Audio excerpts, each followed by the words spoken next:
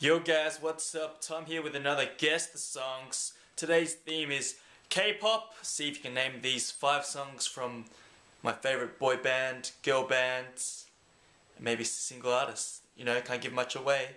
See if you can name all of them. Laters.